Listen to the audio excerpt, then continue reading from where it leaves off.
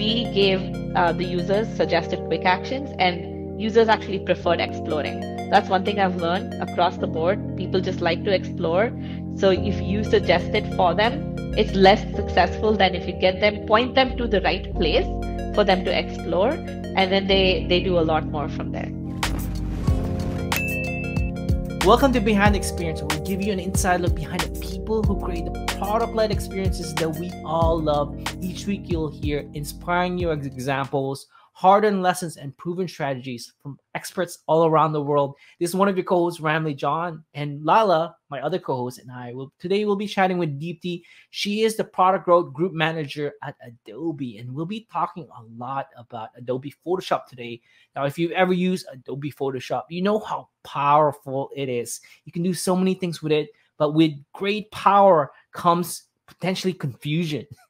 And with that, we're we're gonna dig into one thing that uh, Deepti has worked on: uh, hands-on tutorial and quick actions in the modal to help with that problem for new users. Anyway, let's jump in in our chat with Deepti. Hello, everybody. Welcome to a new episode of the show where we geek out on frameworks, tools, and examples that drive product adoption. This is Ramli John, one of your hosts, and I have my lovely co-host here, Lila. Hello, everybody. Glad to be here with you on a happy, happy, happy sunny Friday. Um, and I'm really excited because we're joined by a former colleague of mine, believe it or not, Deepti Pradeep. She is a product growth group manager at Adobe. And we actually worked on stuff together at Litmus. So, known Deepti a while. How's it going, Deepti? Welcome to the show. Thanks, Lala. Hi, everyone. I'm so excited to be on the show. It's my first podcast. Oh, nice. That's awesome. That's Your podcast debut. We feel so honored. This is right. Yeah, I'm very honored. I don't know if that's a good thing for you or not, but you know, for me, oh, it's, it's definitely a good thing. That means we get all the fresh ideas. Nothing you've said before. Anybody else? Exclusives. Exclusives. Yeah. Um, well, if you don't know, we talk about all things kind of UX on the show, but we love onboarding and we love what you've been working on um, at Adobe. But before we kind of dig into some of the nitty gritty, I'd love to just get like a level set and learn about how you define onboarding at Adobe. I can imagine there's probably a little bit more complicated than some smaller companies, but curious how you all are thinking about it. Yeah, I think Adobe is, is is such a complex ecosystem, and each of the products are so complex. So the way to simple simplif- simplify it and break it down is to say that for us, onboarding is to enable a user to achieve creative success as quickly as possible. Um, if they come in and they get lost and they get overwhelmed, we lose them. So how can we simplify the ecosystem and the capabilities drive time to value and give the users a sense of achievement in their early days so that's our goal everything we do is is revolves around around that makes um, a absolute ton of sense here um, in terms of I, if it, just before we recorded you we chatted about you uh, your team just really focused on creative cloud is that is that correct? That's right. So in Adobe, again, given the complex set right. of products, you have Creative Cloud individuals, which is the B2C. You have Creative Cloud for teams. That's a different uh, team that focuses on that growth team. There's Creative Cloud Express that has a different growth team. There's Document Cloud that's focused on Acrobat that has a different growth team. So my growth team is focused on all of the individuals um, and the Creative Cloud suite, which has Photoshop, Lightroom, Illustrator, um, all of that. Makes sense. So, so for that particular um, product itself, like, well, how would what is what is the success in terms of of new users in terms of like that onboarding? Like, is it you know finally setting up photoshop and, and actually start designing or is it something else? So i guess it really depends on what uh, what what they're particularly using for uh, for in the creative cloud. You know it eventually just comes down to how frequently they use it because if they stop frequently using it they've gotten overwhelmed but they've stopped stopped working on it and it's got a direct correlation to uh, whether it's trial conversion or attention. So everything we do is focused on getting them to use many times in a given week and they're, if they're a new user or just increasing their average days of user getting them to towards uh, being more of a power user over time. And that's defined by the types of tools and the types of actions that they that they perform within the product. Uh, but for a new user from an onboarding perspective it's again that it's like how can we simplify it for you? So you come back many days in a given week um, and then keep exploring it and you will get to your creative success. We have no control over whether you actually achieve it right? But then what we can do is show you the way and uh, make it easier for you.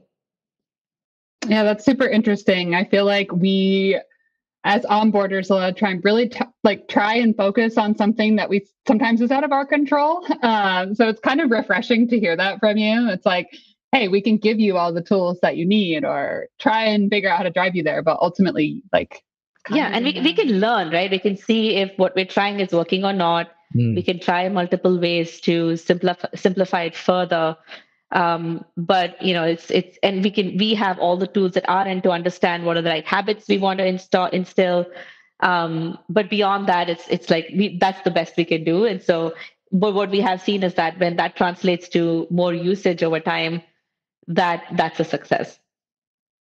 Absolutely. And so i imagine you know it must be hard sharing all of these learnings across other like there's so many other teams right? Like how do you work with other teams um, to learn from one another to make sure you're not stepping on one another's toes or doing something that someone's already like experimented and learned from? Yeah it's it's a it's very it's it's a very meshed matrix system right. um, my team is itself pretty big so what we have done is we have from an engagement perspective, we have two sides to the coin. We have the optimization folks who are focused on the part of the journey. So we have someone dedicated to trial engagement and dedicated to new user onboarding. Uh, and what they do is they leverage existing surfaces and ways to reach out to our customers in app and and improve that. So if you have a, a, a, modal that that has just come up that can be used for um, you know welcome to Adobe kind of a thing, they they are the ones who are optimizing it trying different things taking different cuts of segmentation and, and and really trying to move the engagement kpi needle. We have another team that is on the other hand product focused um, less journey focused. So they work very closely with our internal core pms to actually open up new surfaces um, for us to engage with the customers. So uh, they're the ones who are thinking about, hey, we need some automated guided coach marks. How do we get that built? As I think I mentioned to you before, we don't use we can't we don't use third party tools like Appcues, etc. So for us, it's like how do you quickly learn from what we have and then build in product uh, all of these different experiences so a portion of my team is focused on driving that um, and generating all types of deep links etc that we can we can um, use to simplify um, a user's experience but they're product focused and we have journey focused. So with the two sides of my own team, we are already interacting with uh, core PMs and engineering teams and our go-to-market and PMM leaders um, from an optimization perspective.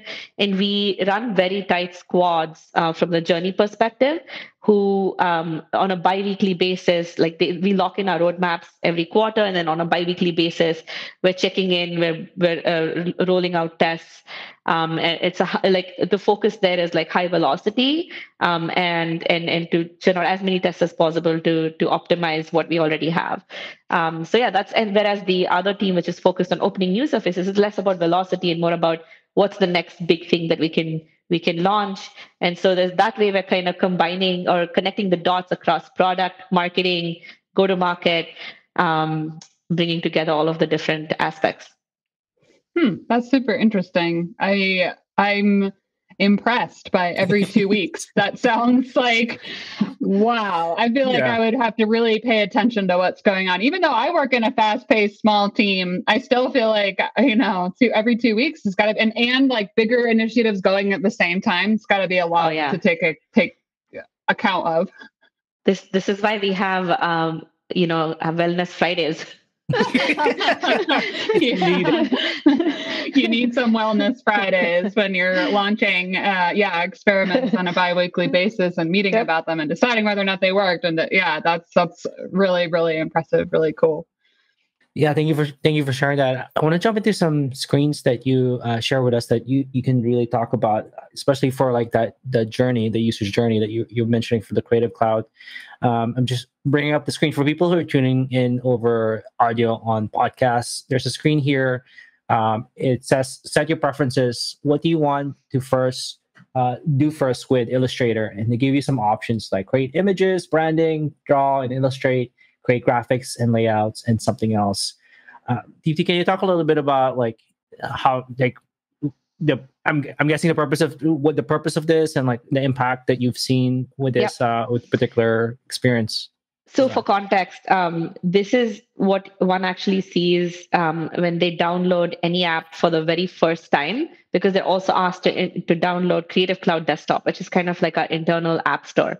Um, and that's where people launch multiple apps that are in their plans. And so Creative Cloud is needed for you to for for you to be able to launch any other product. And so while that is installing, um, getting your intent for what you want to do with Adobe is kind of what we uh, get the users to do. This was done before I joined Adobe. This is led by the core product team, uh, uh, the C- Creative Cloud desktop product team. And as they did this, they partnered with someone from Growth to test uh, test into this and then uh, and then launched it. But what we do now is we try to leverage the intent from this model into everything else we do. So if, if we know that you've given your intent, then when you go into Photoshop, you would see like a banner in your home screen, which uh, would take into account what you said your intent was, and we'll suggest tutorials for you, um, or we suggest tools for you to kind of uh, uh, quick actions, etc. That that ties back to your intent. Um, it's a little hard because not like if you've already got Creative Cloud maybe a few years ago before this experience was there, you are not answering this question. So it's not like we have 100% of this all the time. But we work with what we have, and we're continuously evolving this aspect of what is the right time and place to collect intent and goals because you ask it too many times users get annoyed and then they you know you ask it a few times but then they want to see how you actually used the responses that they've that they've provided. So um, we're really constantly trying to see how can we use the intent um, question, the answers that, that our users have given in everything they do after that within the, the individual apps. Hmm, that's awesome. That's like the goals. I feel like a lot of times, uh, a lot of us, you know, not at Adobe are just doing this very first part of it just to see why people are starting, but then, you know, don't necessarily connect all the dots. Was there something interesting and new that you learned um, from the something else uh, bucket? Mm. Like any kind of new goal that popped up that you weren't aware of before? Not really. I think people typically end up picking the top three. Um, this was kind of um, uh, discussed pretty heavily with with various teams to understand what are the the top actions. Not to say this is perfect. We are still looking at ways to make this more interactive, more fun. All that is like part of the future roadmap. Um, and uh, and and and also like the order of questions, etc. We're still playing around with all of that. But for now, like the intent that we get, um, typically like we don't see too many of, of the something else.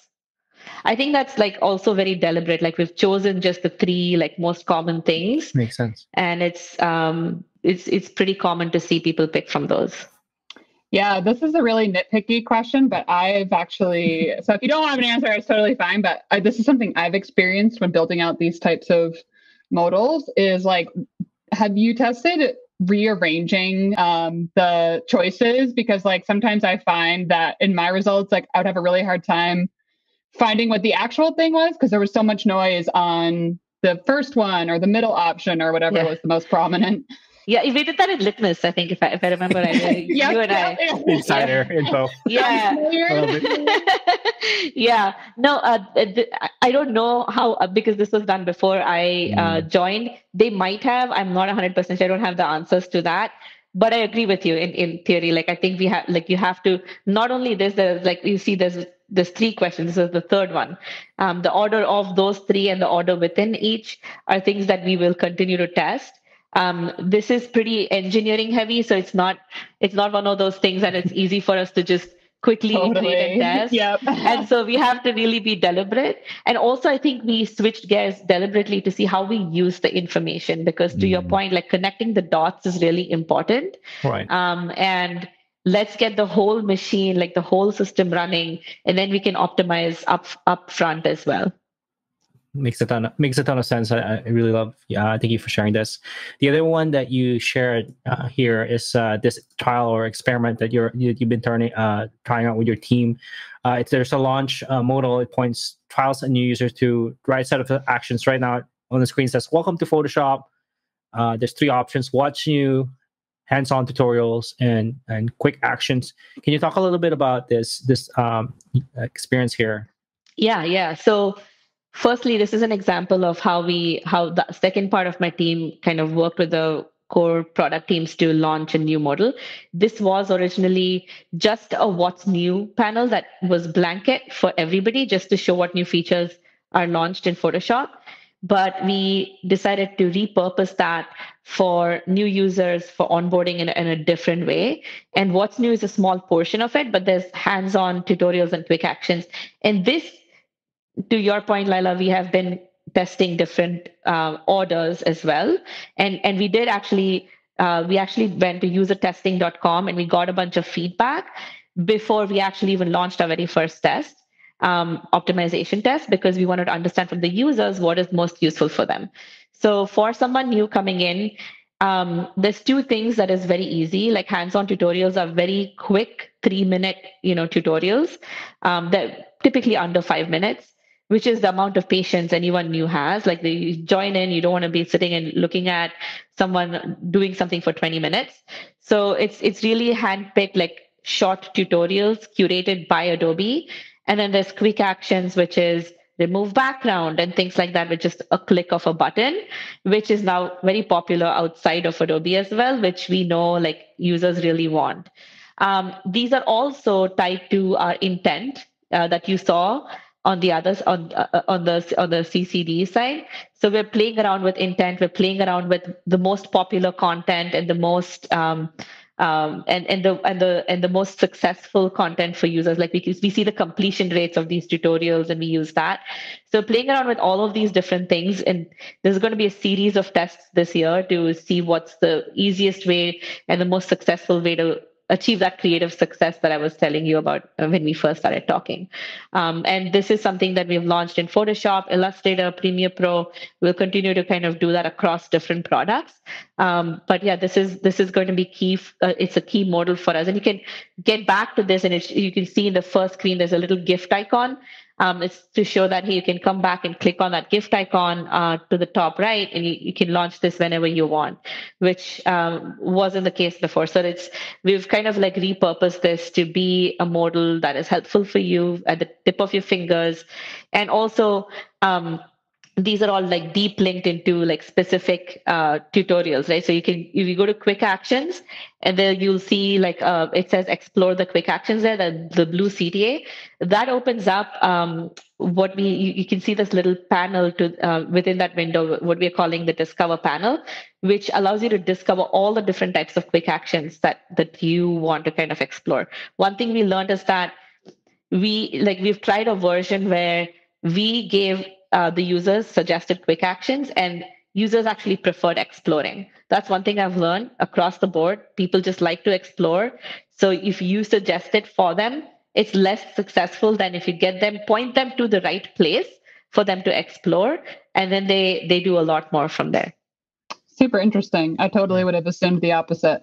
Yeah. Yeah, right. That's what we that that's the first thing we thought. But then people like to explore but then if you don't point them in the right direction they get lost so right. that's the the balance between how do you point them to just the right set of things but give that like mm. the pleasure of exploration yeah it's such an art and a science it's mm. it's uh, not not a simple um, throw up of a modal in any way i love the concept of quick actions like i wish mm. every app could do this like provide some sort like i love like your example like remove the background you know i don't know what they are exactly but like i'm picturing in my head like crop a cir- you know image into a circle or like any of the t- com- common right. things you need to do that i'm doing all the time in these little tools like i absolutely love that and like what a good way to kind of bite size your way yep. into your product, exactly. especially a product like Photoshop that has just so complicated. Mm. Like, you know, I mean, I'm just like I used to use Photoshop as a as a student, and now that I'm an adult, I feel like even more overwhelmed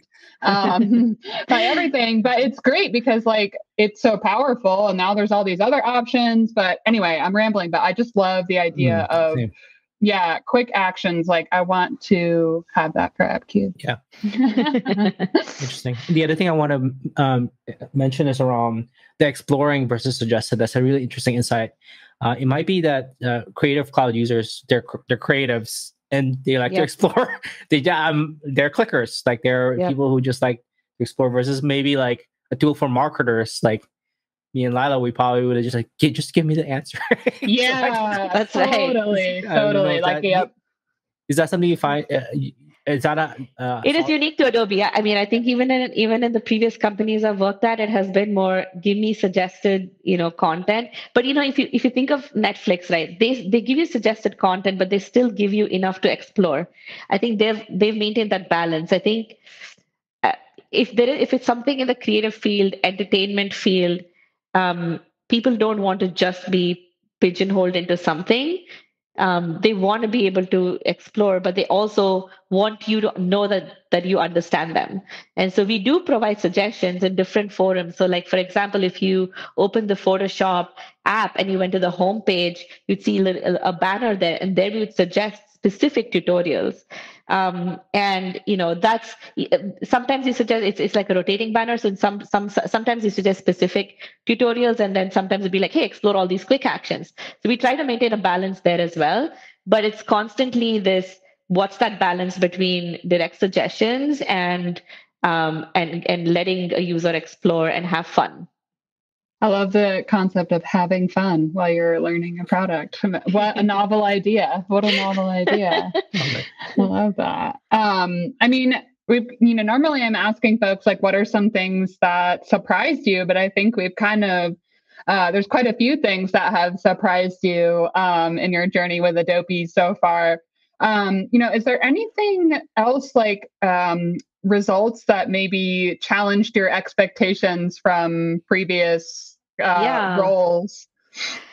Yeah, so uh, I haven't directly tried um, some of these tests. I know from historical context that I've been told because I've been at Adobe for like a year and a half now, but um, they've been they've been doing things for longer than that. Obviously, I've heard that previously stuff like gamification and checklists haven't worked, which I was like, wow, you would you would think that right? You would think that that's something that everybody wants and like everybody wants to be uh, competing but it looks like uh, the like the creative users they don't want to be like in any kind of rat race or like you know be made be forced to do anything. So it's it, it's not like we've completely buried the concept. We've kind of learned from what didn't work and we're trying going to try different flavors and different incentives this year but it's it's interesting that some of these very obvious tactics that have worked for all other companies don't always work. And this is to say i think it's not just adobe right? I think for every company to understand those users and really figure out um, who they are why they come. And adobe's complex ecosystem makes, a, makes it very difficult for us to answer that very simple question. Who are your customers? What do they want? There's so many of them the, the type of people who go for Illustrator is so different the, from the type of people who go to go for Photoshop or Fresco or Premiere Pro. There's just very different types of users, and so you can't have uh, uh, a, a, a, an experience that meets everybody's needs. You have to look at um, every individual sub segment. And so, one thing I've learned is uh, something that we are learning is that we have to run like lots of different small way to get lots of different small wins that are that are very personalized that then add up uh, to move the macro needle. Uh, but it's very difficult to just do one thing that blanket is a success across all different types of our customers even within a product. Like even even someone who buys a photoshop single app is different from someone who buys the bundle which has all apps because they're more professionals versus someone who just wants photoshop might be more of a hobbyist so it's very it's it's it's very different very complex and so some of the common tactics that a lot of other companies use don't necessarily always work makes for an exciting uh, work day, work work day though. for sure. Yeah, no uh, no assumptions can be made. I bet you're mm. um, using the don't assume makes the ass out of you and me phrase very often. and also just don't give up because it didn't work the first time, right? Like just try many different ways and really learn from you know do lots of cuts of the data to understand did we see a directional lift in one direction in one sub segment maybe we can poke there more so our data science team are tied to our hip because um, it's really necessary. Yeah absolutely. Totally love it. Uh, other than that experiment that you that you showed to us is there any other ones that you're like looking forward to try? Obviously not checklists because apparently no no no we're actually well, like going back really looking at it like what worked what didn't work. Um, because it's it's it's also like you know where do you present the checklist? Is it inside mm. the app? Is it outside the app? Is it um, is it going to be different for what if for photoshop in, in different plans? And now that we have more of an understanding of our users and now that we have more understanding of all our core actions from like three years ago when it was t- tried let's try a different angle. Mm. but we're not just launching a test. Like i said we started to do a lot more you know let's do quick user surveys user testing get you know customer feedback before we do it. And that i think is one more thing i want to call out is like not so common because growth teams tend to move so fast that we take uh, concepts and ideas based on impact and we just drive the test. Uh, but to take a step back and say let me test some of these things with users um, it may not be in a large scale like a like core product development, but even a little bit gives us really unique insights and and steers us in a, in the right direction. So we are going to be testing more of those. I think also just taking it for for new users and trial. Like for me, it's about taking a step back and really answering those questions. Like let's understand deeply understand our customers and let's see how we can think differently and try different um, different tactics, creative ways to get through to our creative audiences. Absolutely. Absolutely. I love that. I love the idea of like, you know, user testing something like as a marketer, right? Like not necessarily maybe testing a full experience, but um, you know, kind of getting the language, getting the feedback, mm-hmm. getting the ideas before you even implement. Because I feel like a lot of times we do kind of go all the way down that path when really we could wait and level it up like one step before okay. that um very often because we are just under a lot of pressure to deliver i think and, mm-hmm. um, but the testing is very important. Um it's actually something else that made me think of.